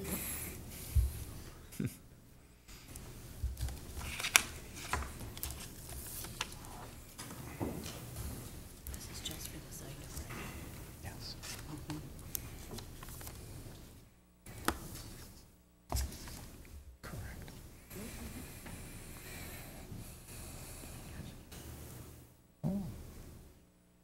Good evening, and uh, happy to see the five of you, the staff as well. I, in deference to my age, chose to go first. Doesn't mean I'm smart or anything else. A little history on this uh, Can- can- project. I- My name is Carl Dorr. My wife and I live uh, the fourth lot up from the south end on the west side of the street. My wife and I have lived there since 1990. We own a single-family home. There's a single-family home to the west, I mean, to the south.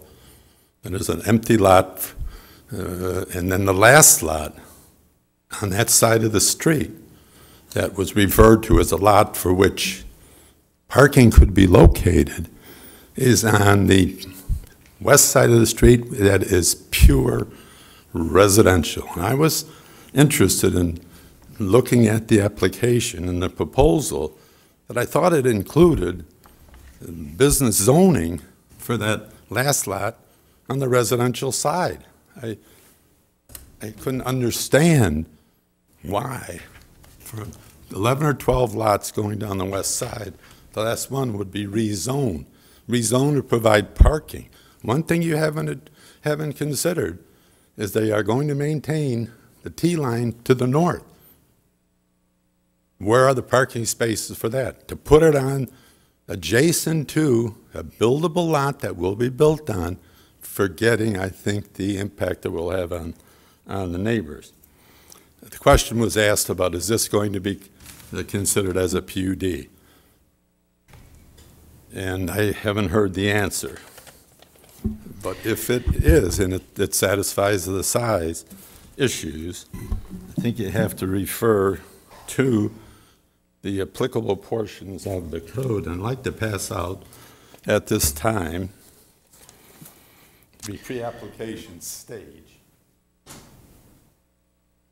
For the benefits of Mr. Dorr and the commission, if the proposal were to move forward with a f- formal filing, request B2 zoning, and be over five acres in size, a planned unit development would be required. Okay, I'd go back, I'd like to go back to what I just passed out. And obviously, there are two stages to be considered. Pre-application stage, I assume that is what is being considered tonight. It was a concept, then the issues relative to concept include much more detail. But in any, in any case, question arises, just what is the purpose of a pre-application stage with respect to what input can be given to the petitioner that he could rely on prior to the time a public hearing is held and parties have been notified, would have had the opportunity to hire counsel. That, that isn't provided. It was by happenstance that this issue came to the attention of this group that's here. And I'd like to point out in the audience and give you some idea of what concern this has brought to the residents, the adjacent neighbors, and if they'd raise their hand, just to give you some idea. How many live on the street? I'm not here by myself. The little history, if you uh, would. Get to my notes. Uh, the property in question was annexed uh, pursuant to Resolution uh, 978 8591. I moved there in 1990. I moved with the understanding that the driving lanes that has existed and as permitted by the special use granted pursuant to the annexation agreement provided um, abilities, restrictions, etc. I'd like to point out in the annexation agreement, which is a 20-year agreement, provided for surface driving, lighting, up to a 40-foot or 41-foot feet high fence for, for safety purposes. If I remember right, I thought I heard that defense security netting, safety netting would be, did I hear right, 90, 90 feet, an additional 50 feet higher. In reference, the Marcon main building that is right over here, or that way, I guess it is, is 65 feet high, roughly. Doesn't be 90 feet. In addition, I'd like to point out, if you take a look at the site plan, the building is, talks about being 35,000 square feet in size, and, but how wide is that going to be? It'll take almost the entire width of that property. Also talk about the use of the area between the safety netting and the fence, which is five or six feet, whatever it is, from the property line. So within six, seven, eight feet of the west property line of these homes, the back, most of these homes back up to the course. We know, you know, you live using the backyard of your property. You go to your backyard, 90 feet. 90 feet. Can you imagine looking out your, your backyard with poles, structures? If you take a look at the definition portion of the code, these are considered structures. That's what you see. And netting, and then you take a look at the huge building. Well, we're not quite certain about, we'll make it tilt a little bit this way, tilt a little bit that way, uh, whatever. Well, and we could, if we need parking, the lot's owned by the owner of Lot 34, the lot in question, which are going to park is Lot 33. We live three houses down. Residents right here live two houses down. There's an empty lot, and then the lot in question. How would you like two doors from you, excess parking for a uh, project of this magnitude, not taking into account the north end, not taking into account changes in PUDs, and we know how changes happen. I'd like to refer, and I'd like you not to cut me off because my, I'm here as an agent of my wife. Her, uh, she's unwilling or unable to get up in front of you for obvious, not for obvious reasons, but for reasons that are medical. But I'd like you to, like to refer to the uh, letter from the petitioner, Mr. Gabrioni, if I mispronounce it, I apologize, where he talks about what is, what is going to be going on, and I've got to find it.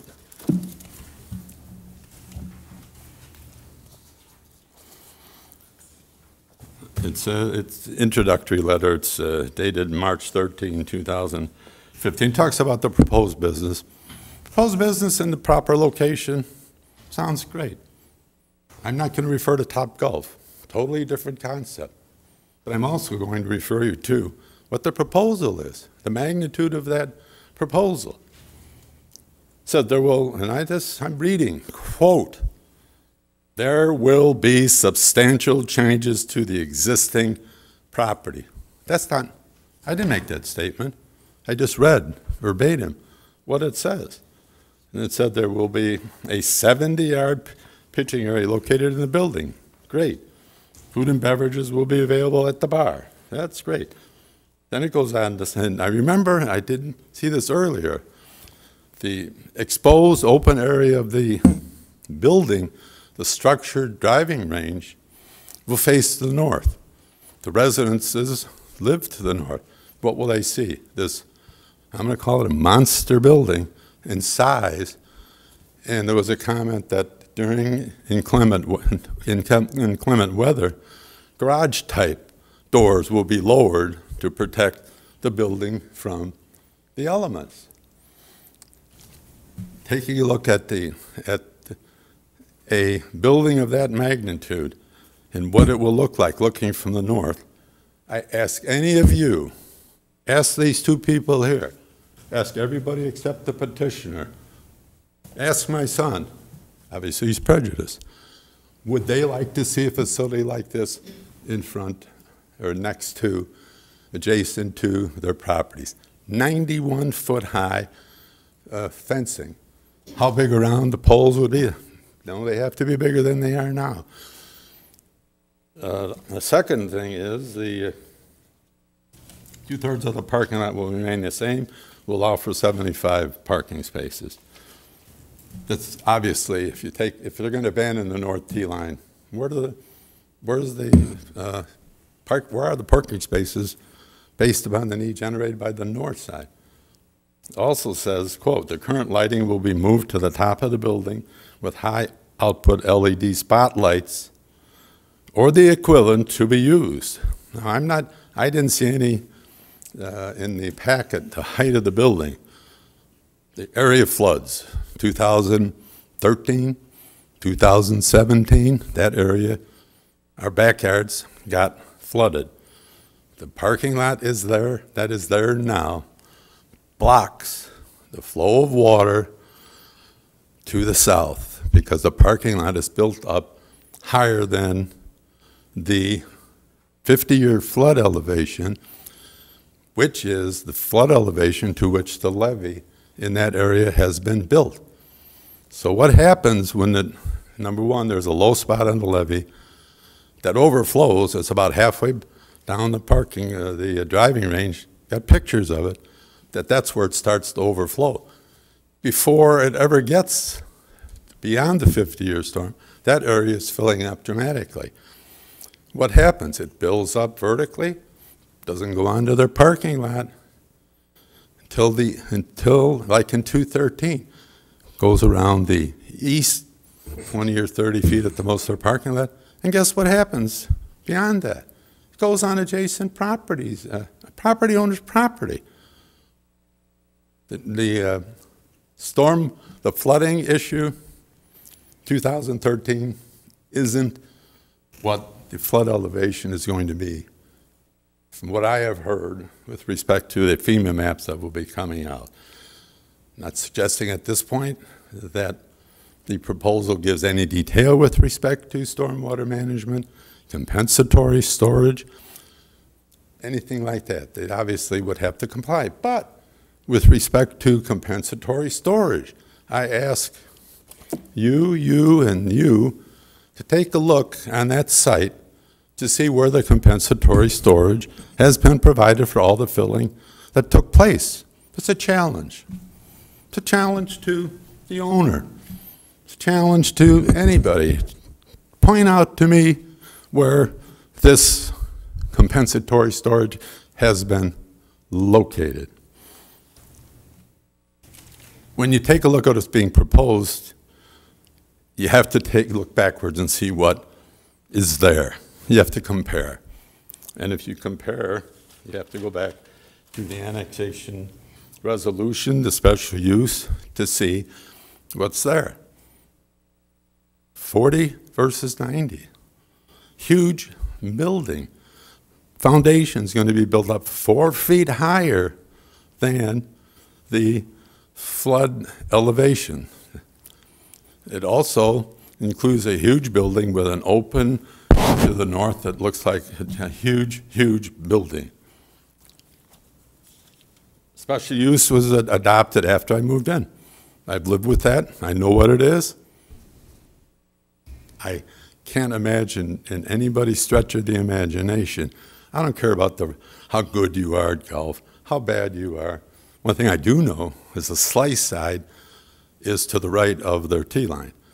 But in order to help that, and I think it would do a good job, you have to go up 90, 90, 90 feet. Mr. Dorr, could you maybe wrap this up, because I want to give other people opportunities to speak? Right, my question is, many people, some people don't know the background with respect to uh, what, what happened. I'm just asking the, the group to take a look at that annexation agreement, take a look at what was approved by the special use ordinance, 20-year agreement, take a look at the history that led up to that. Zoning, spot zoning, the whole site will be zoned uh, B, B2, including that empty lot that's residential.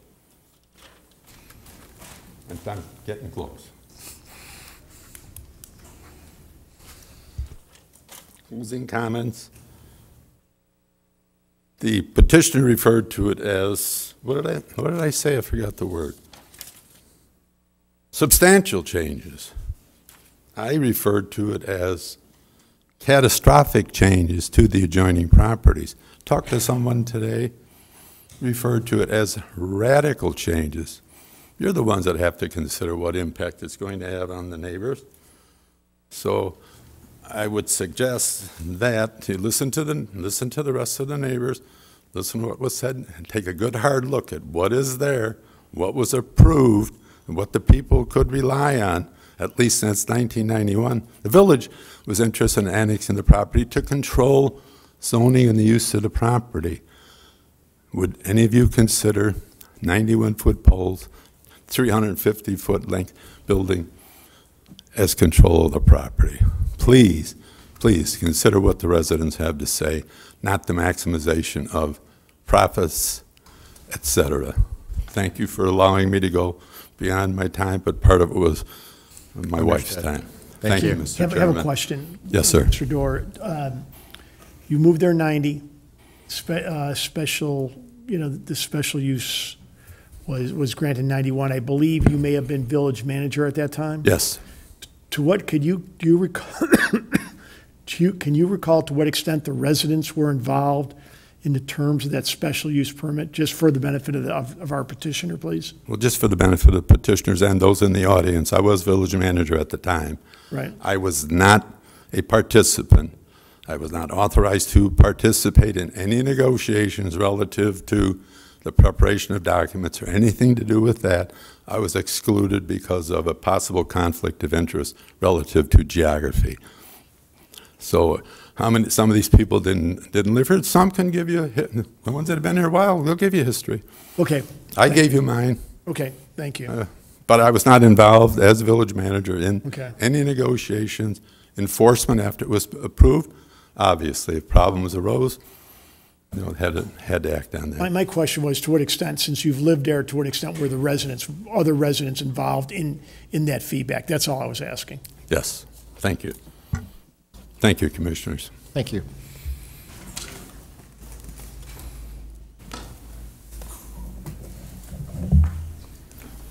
Uh, For clarification, real quick, the application did not include the lot he was referring to as residential on the east side. That was not included in the application at all. That's currently uh, residential. And again, for clarity, we do not have an application, we just, Well, it's a the, the concept. concept was not, that was not included in that he was Okay. referring to. thank you.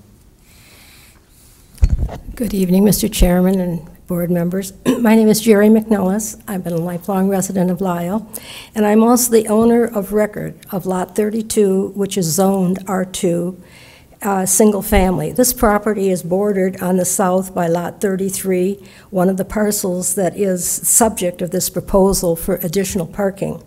Lot 32 is also bordered on the west by the existing driving range. I strongly object to the proposed request to rezone the parcels from R1 with special use to B2 community business to allow for a commercial recreation facility. I think it is in a most inappropriate location. Thank you. Thank you.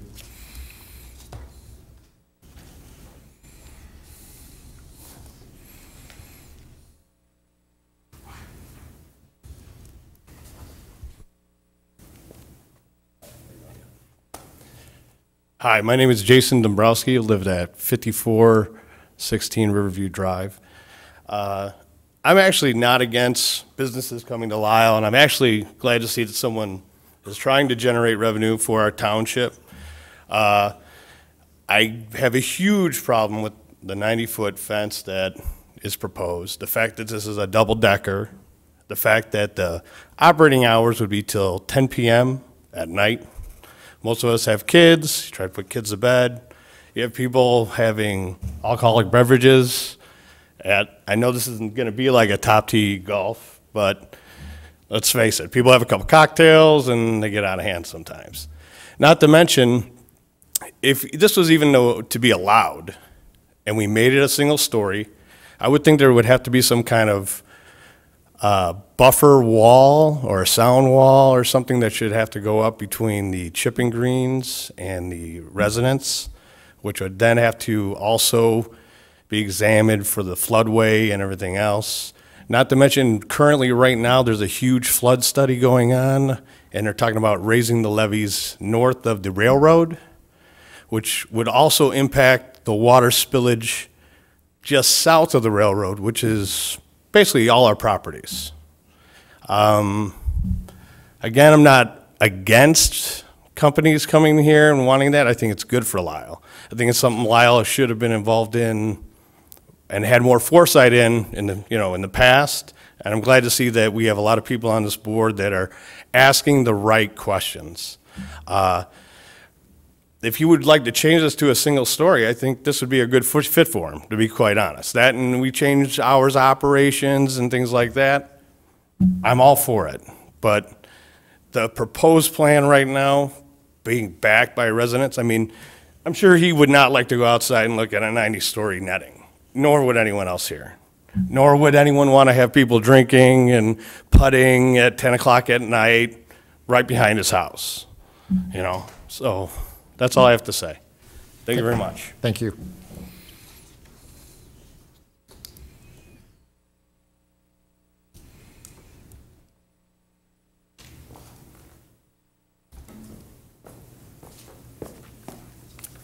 Hi, my name is Bethany Basie. Um, My husband and I bought our house in 2016. We're also residents of Riverview Drive. Um, I just wanted to thank you for, you had a good, good concept there, but I am also opposed to it, um, not only as a resident of our block, we're a pretty small block, but I feel like um, Lisle as a community, the need for this in Lisle I don't see a strong need for it with a lot of other golf resources within a very close driving distance. Um, But my three primary concerns would be noise pollution, light pollution, and decrease in property values on our block um, if this were to be moved forward. Um, I think the number we were given for the street light gauge was 0.7.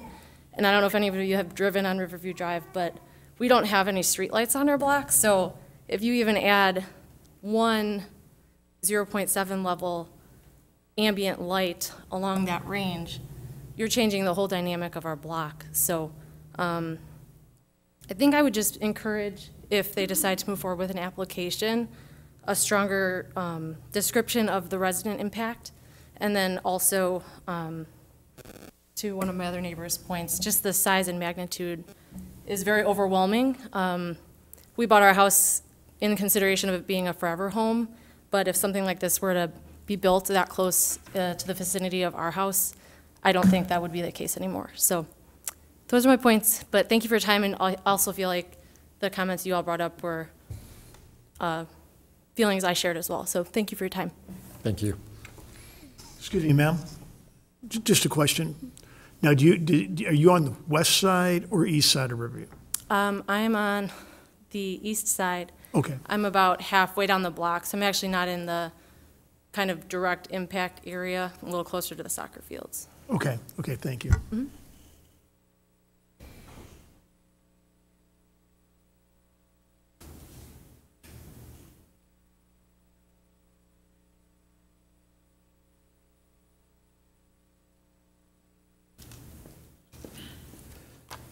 Hello, Planning and Zoning Commission. Uh, My name is Marty Zool. I live on 5336 Riverview Drive.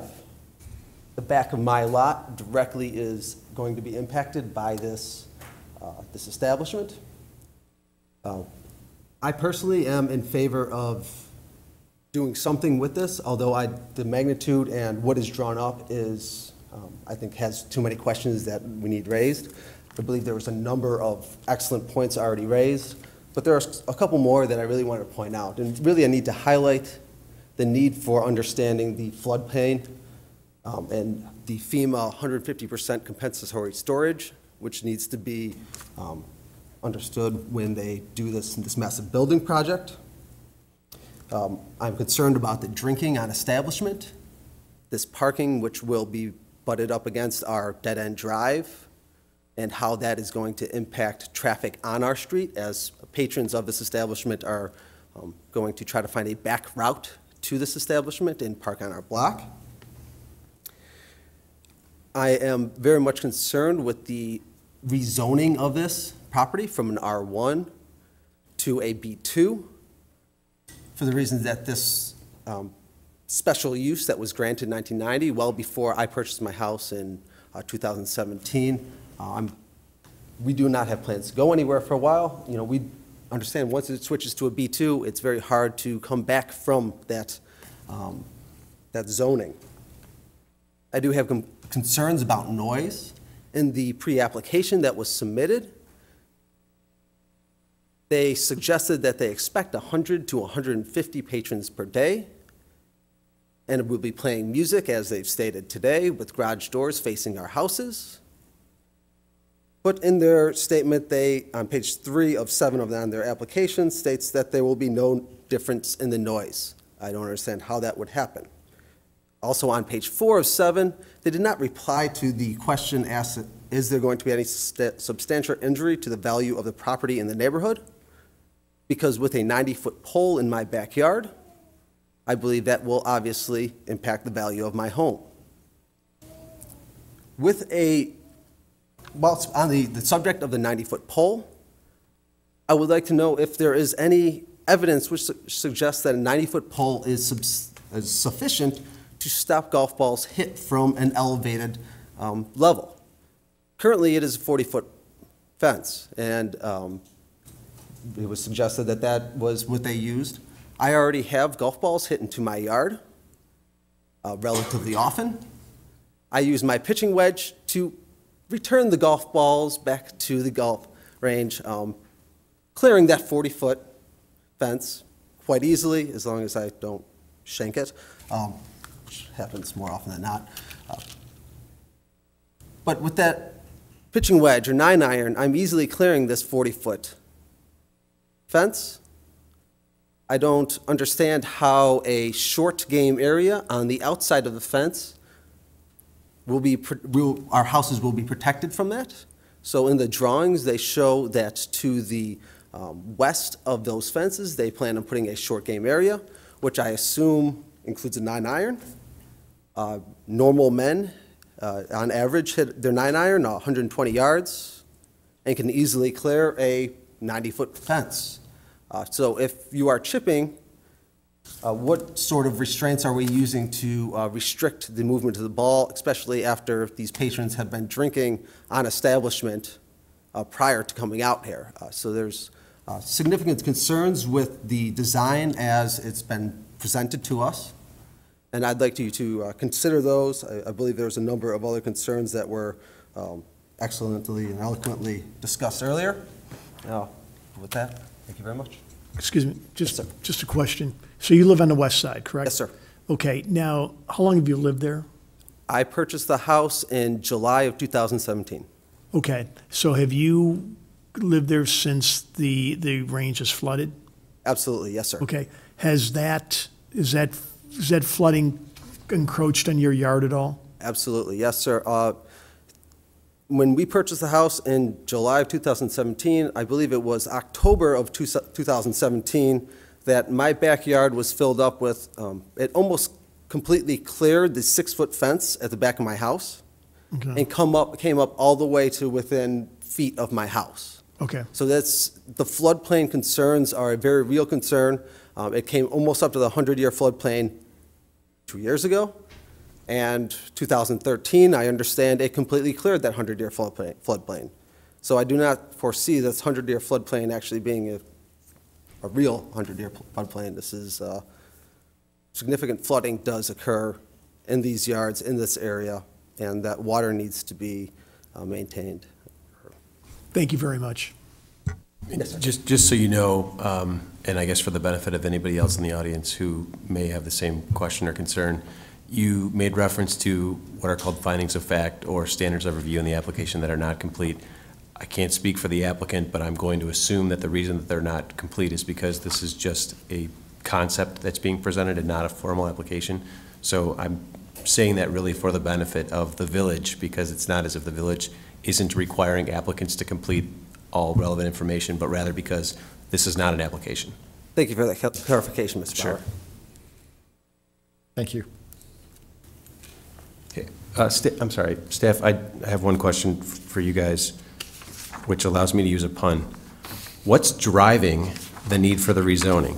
Um, Is it, is it, uh, I mean, there's, there's a golf-type use there now. Is it because of, like, the alcohol and restaurant? It's because of the, the restaurant component. The R1 zoning would allow an application for a special use permit for a driving range. Got it. Um, the restaurant use would require rezoning to commercial district. Got it, thanks.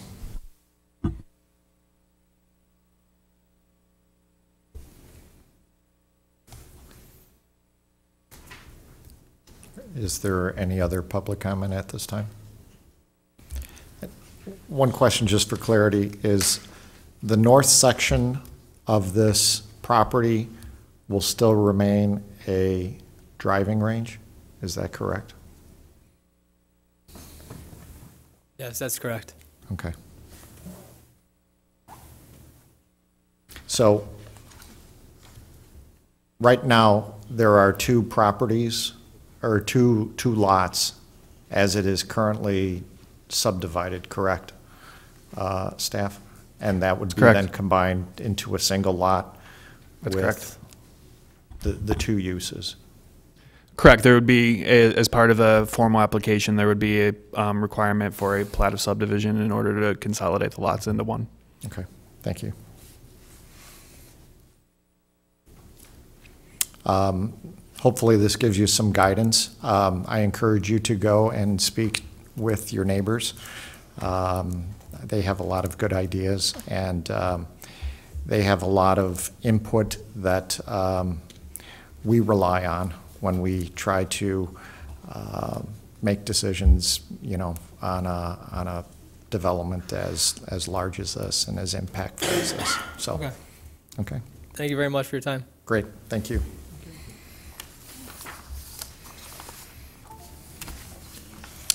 Item F, uh, old business, uh, draft planning and zoning commission bylaws discussion.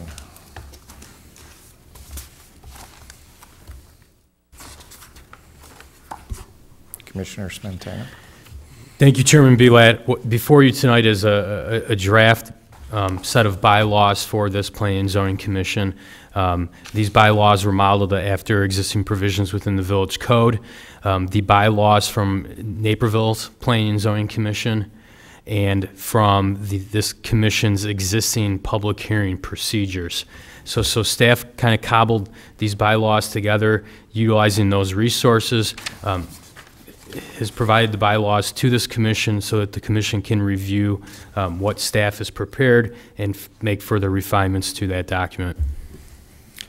Would it make sense um, to submit some of these changes in writing so that they could be maybe uh, coordinated into a, a, a single document as opposed to going through each one of these sections at this time? It would make absolute sense to do it that way. Okay. Could, we- could we get it, could we get it maybe out, like, uh, get it in Word so we can just kind of give, give word revisions and comments? Yes, I can send a Word document, then everyone Right. can use the, the track changes and, and make edits to it. That'd be great. Perfect. Any other comments on that? Are we all fine with that being an option? Okay, great. Um, At this point, I would entertain a motion to adjourn. Wait, Mr. Chairman, I'm sorry, can I just ask uh, one thing quickly, and I apologize because I was late. Um, But am I correct in my understanding that the minutes were approved with no comment? That is correct. Can I offer a couple of suggestions, if you're willing to entertain those? Sure. Okay, so, um, I think, I think definitely two, potentially three things. On page two, um, like the third to last paragraph begins with Commissioner Bauer expressed concern, et cetera, et cetera. Um, The last sentence of that paragraph says, Commissioner asked the petitioner if there would be opposition to purchasing parking passes for patients. And then skipping to the conditions, condition number one is that the applicant will be required to purchase monthly parking passes. I think, my, my recollection is that petitioner expressly stated that he had no opposition to that. So I feel like the minutes should state The that, answer, yeah, I get it. so that it's clear, you know, why it is that we impose that I think condition. he offered that up front, as I recall. He did. Okay. Does anybody have a, I mean, obviously, we have to procedurally, like, hmm? amend the approval, but Minutes, yes. does everybody agree with that? Yes. Okay, then, same page, two paragraphs down. Commissioner Zidell requested clarification relating to the area of the, and then it's not completed. So obviously, that thought needs to be completed. And I don't know what you said, so I apologize. Rescind the approval. It'll be easier, have them amended. What was your third thing? So- So, um, Development Services Director Smentana, um, would you be able to go back to the audio and/or visual to? We can clean these up for Clean next that up. meeting. Okay. Um, So- If you want to make a, a motion to rescind Yes, your previous think- approval, Um, Then we can bring them back next meeting. Um, That's definitely a typo. That thought needs to be finished in the minutes. I'll look back to see if the applicant confirmed that he was not opposed to providing those parking passes. We can bring them back in May for final approval. Okay. That sounds perfect. So, So could I The have third- a the motion? third- No, he wants to make this third change. He yeah, said three. right. Well, I was going to Um, rescind the motion. We will. Let, let us get the issues. I'm sorry, I- I guess I have two more. Um, Uh, So the next one is on page four, second to last paragraph. This is, I guess, more of like a comment for consideration than a necessary change. Commissioner Fansler requested clarification on what zoning entitlements would be required. Village Planner Rockwell provided that summary. I don't know, I feel like for historical reference, it would probably be helpful for people, you know, years down the road reading these minutes, if there could just be like a, you know, 10-word expansion of that sentence instead of that summary, like, you know, they need a special use permit and a variation and a whatever. Um, Then lastly, page six, second paragraph under item five. I think this begins with Commissioner Soika requested the petitioner to outline how the proposed project would affect traffic circulation. I think this is out of place. I think this is supposed to be up underneath item four. You agree, Ray? I would agree. Okay.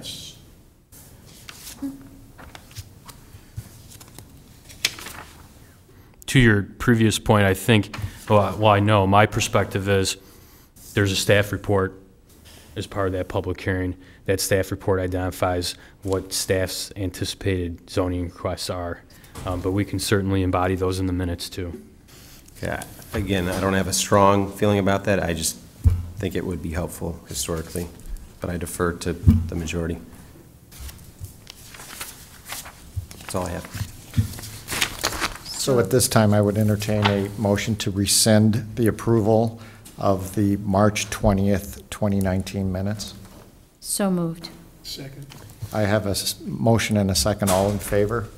Aye. Any opposed? The motion is rescinded.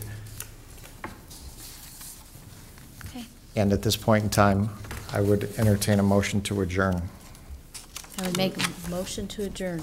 Second. Wait, don't, don't we need to approve the minutes? No, he's going to oh. No. fix them first.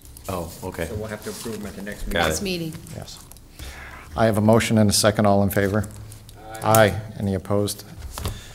We're adjourned.